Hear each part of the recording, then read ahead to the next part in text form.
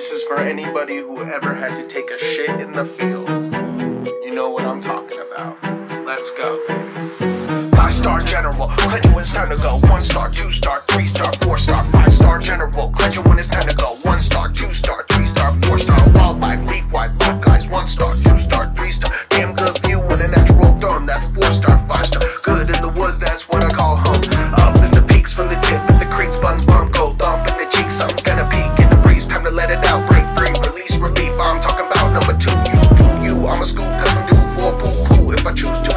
couple stars a few rules. Please let me introduce you to the new new. It's my new thing.